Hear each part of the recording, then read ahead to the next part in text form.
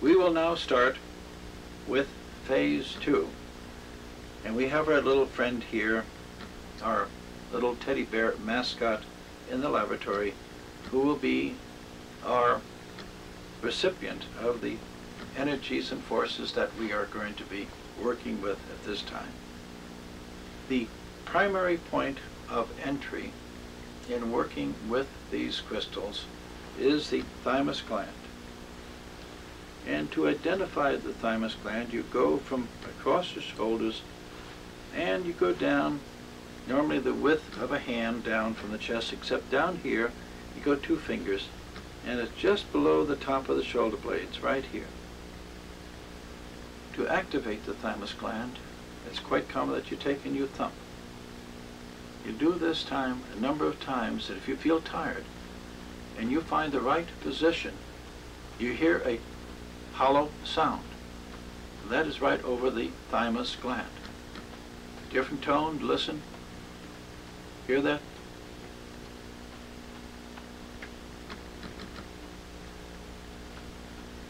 Here is the thymus gland. And it controls the immunological activity of the body. It is also the witness area of the body. So now when one goes into the thymus gland with a crystal that has been charged, one goes in now counterclockwise. Watch my hands close slowly. Go in counterclockwise. And now I stop. About one and a half to two inches away. And now I rotate slowly in a clockwise direction until I feel a resistance. I, at the same time that I do that, my hand is opposing the crystal that I'm holding with my right hand. If I'm left-handed, I work with the left hand and feel with the right. If I'm right, I work with the right hand and feel with the left. Now, there are two important functions. One, I want to find the correct spacing between the physical body and the subtle or etheric body. I want to be in the etheric body not into the etheric double, which is about a half inch off here, but into the pure energy body. We are here. My other hand opposes. Now I scan in a up and down and transverse direction until I find that point of resistance which defines the subtle body and especially the energy emanating from the thymus gland. I hold this crystal steady and I rotate this hand until I can count to the maximum point of resistance. When I do that, I feel a pulsing vibration in the left hand. When a charge flow takes place, the crystal pulsates in exact rhythm to what I experience in my left hand.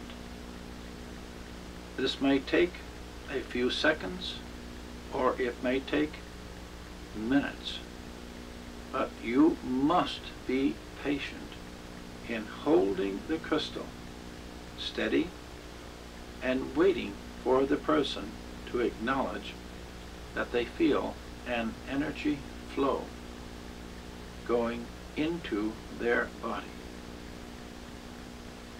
There is no control of your breath or theirs.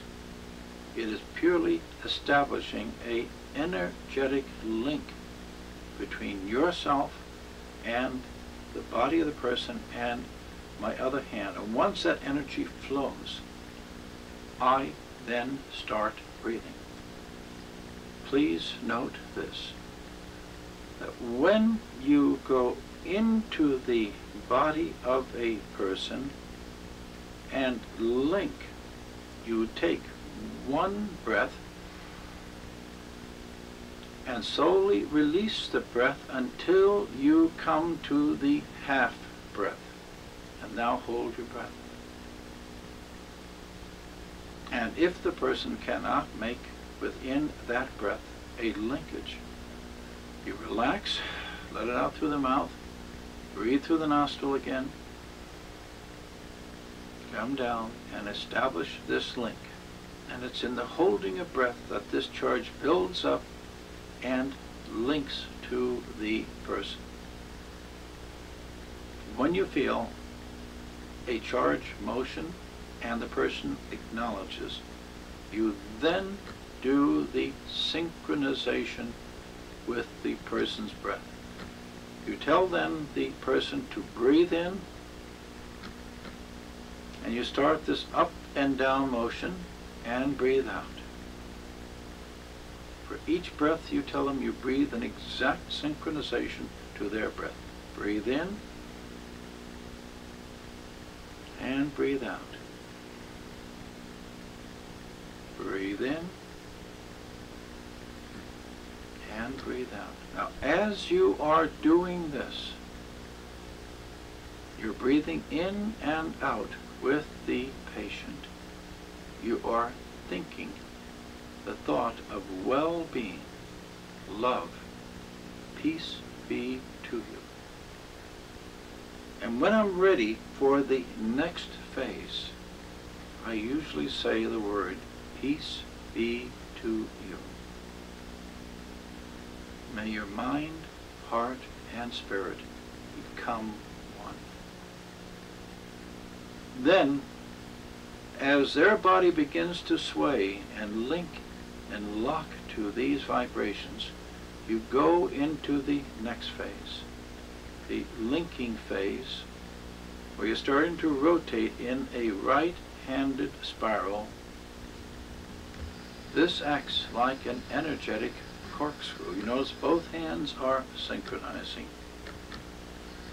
You tell the person to breathe in now as you're doing this and go with their mind and heart to the area in their body that needs to be treated. And visualize the root the cause, the source of the discomfort they're feeling in that area. Notice the rate of motion I am doing. It is slow, steady, and constant. You tell them then to let the breath out, draw the breath in.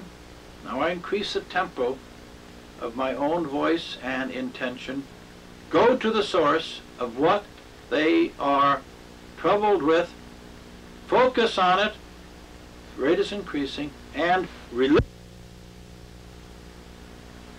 This hand closes and releases. This hand takes the charge up and snaps it. Please don't drop the crystal. It's in that simultaneous act of voice intention, pulling with my left hand, snapping with the right hand, that you break up a pattern that is locked into the bone, the tissue, the psyche of an individual. So you shatter that pattern of the past. And normally I do it three times. I go in again, breathe in, release, and breathe in again, close my hand and release. That usually clears this entire area. Then I start the closing and healing process. Breathe in, see the clear light, and think well of yourself. Breathe in again and become at one with your body, your mind, and your spirit. God be with you. And just keep this up until you feel the body totally relax. Now, if there is a major disturbance in other parts of the body, you start this process. Breathe in and out. Breathe in and out. You're linking all of the chakras, energy bodies, linking it into a large ovoid egg. You do this two or three times and you come back to the thymus and you slow down and you place the crystal here and bring the hand in contact. First time you contact the body. And now, with the hands on the back, you palpitate the tissue and you feel normally when this treatment has worked the tissue is very soft and lacks the vitality. So you just breathe slowly back and forth, thinking well of the person, then touch the tissue as soon as the tonality of the tissue comes back. Draw your breath in, hold, and release, and the job is done. Most important, I think, for the totality of the treatment is the final expression of love, and that is to give to that person a hug. Give them a big hug this way and say, you're a wonderful person, and I give you my love, as I do now to each one of you. Peace be to all of you.